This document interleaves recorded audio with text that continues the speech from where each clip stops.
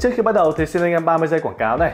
Mình có bán hàng trên Shopee, chuyên bán phụ kiện điện thoại như kiểu là sạc cáp này, sạc dự phòng, tai nghe không dây, sò nóng lạnh, bao rẻ nhất Việt Nam luôn. Trên đó thì mình cũng sẽ bán cả điện thoại nữa. Mặc định các bạn sẽ được bảo hành vàng 12 tháng tại Mobile City. Những bạn ở xa không được xuất được ấy thì có thể mua tại Shopee cho nhanh nhá. Link mình sẽ để dưới phần mô tả của video. Hello các bạn, vừa rồi thì mình đã test game trên chiếc Redmi Pad Pro với hai tựa game nhẹ Liên Quân và COD. Nói chung là chơi ok. Tất nhiên COD thì cũng có bị à, uh, tột giảm các bạn nhé Nhưng mà chơi là không bị giật Đấy. Và tiếp tục thì mình sẽ làm một cái bài test nặng đô hơn.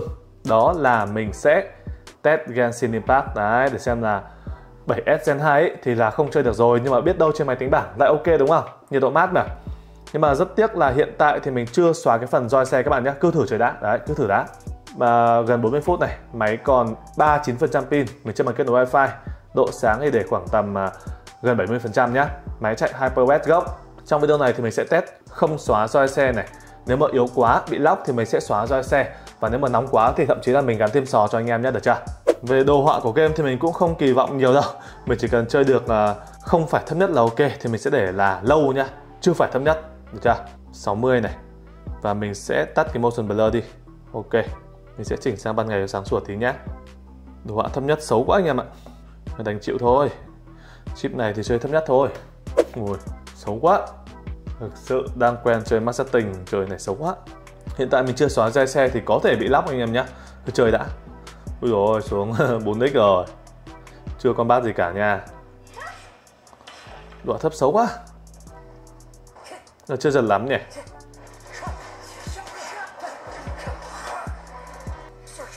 Như kiểu là màn hình to thì đỡ giật hơn hay sao ấy. Mặc dù là FPS xuống 4x nhưng mà chơi không giật lắm được, chơi này là cũng được. Tất nhiên những à, con chip này thì chơi, gọi là, chống cháy thôi nhá. Thực sự luôn.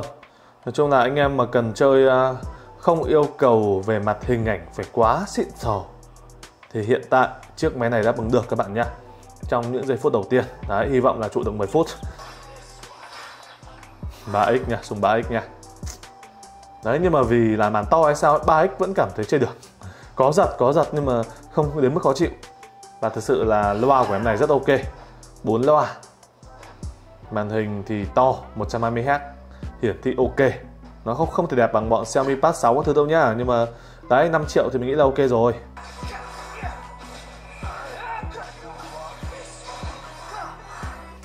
Ok, nói chung mắt này thì uh, thường xuyên 4x và thi thoảng nặng quá thì xuống 3x nhá. Mình sẽ sang bên mắt thứ hai, vực giò hú quen thuộc.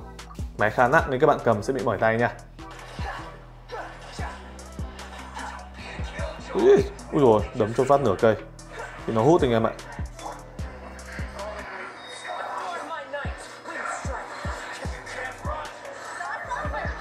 Ulti liên tục nhá để xem là hiệu năng ra sao.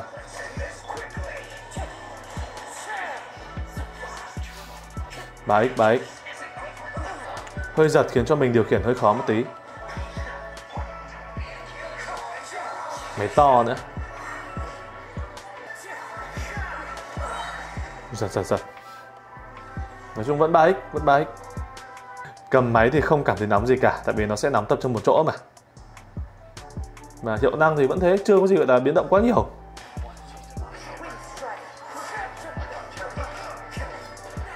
À, bình tĩnh. Ôi rồi ôi đau đấy.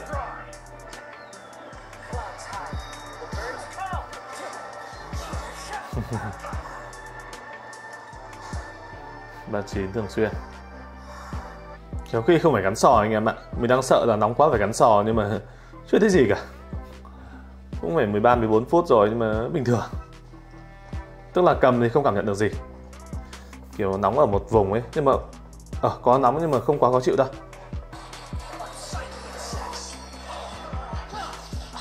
Ui gần hẹo luôn. Ủa, quá khủng khiếp. Ủa, tệ tệ tệ tệ tệ. Đấy à để mình thử uh, đứng đi một chỗ xem là có bị lóc fps không anh em nhé. Chuồn ạ chuồn ạ. Đứng đi một chỗ này. Không lóc nha 53 này.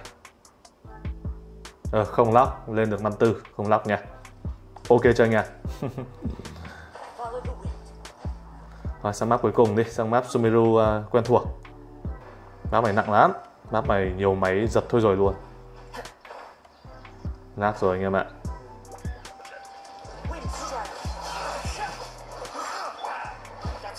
Kìa, hẹo mất tướng mình rồi. Quên trôi máu. 32 fps 30 có xuống nữa không? Mình mải nhìn fps quá, bị đánh cho tụt máu thôi rồi. Ừ thực sự là mình nghĩ không cần phải à, gắn sò đâu anh em ạ tại vì nó chả nóng được. Ngay từ ban đầu nó đã như này rồi và bây giờ nó vẫn thế. Chứ nó không bị nóng lên anh em nhé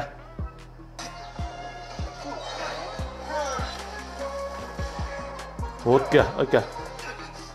Xuống bãi Rồi sao, hẹo mất tướng cuối cùng à Thôi cho là mình té nhé Và mình nghĩ là cũng nên dừng bài test đây. Đấy, như mình nói, con này chơi nữa ấy, thì nó vẫn thế thôi. Nó có xung nhịp nó tối đa rồi, nó không thể mượt được. Nhưng mà nó cũng không nóng để khiến cho bị tụt giảm nữa anh em ạ. Nha. Ở đây không thì mình thử gắn sò cho anh em nữa nhé Mình thử gắn sò luôn. Để mình dịch chuyển về cái khu vực này xong mình gắn sò cho anh em này.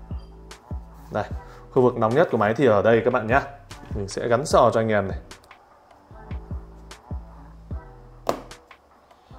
Ok chưa? Mình dùng sò lạnh Memo C07 thần thánh anh em nhá. Được chưa? 15W điện đóng băng luôn. Ok chưa anh em? Rồi, mình sẽ về đúng lại chỗ bàn nãy cho anh em xem. Con này làm lạnh nhanh lắm vèo phát lạnh luôn nha.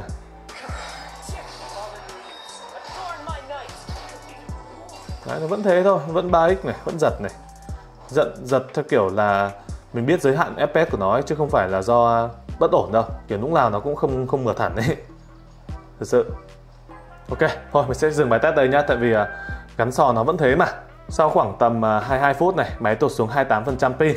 FPS thì đấy nó có dập dìu dập dìu 4x và combat xuống 3x anh em nhá. Nhiệt độ thì thôi đấy mình gắn sò rồi thì à, nói em gì đúng không? Tại vì dù không gắn sò ấy anh em cũng không thể cảm nhận nhiệt độ đâu. Máy rất là mát luôn gắn sò vào kết quả vẫn vậy nha. Nói chung chốt lại vấn đề ấy, theo mình chiếc máy này thì à, chip không quá mạnh nên là chơi Genshin nó sẽ đuối. Chơi chống cháy thôi nhá nhưng mà được cái là nhiệt độ rất là ok. Chơi uh, nửa tiếng vẫn như bình thường. Được chưa vấn đề không phải nhiệt độ.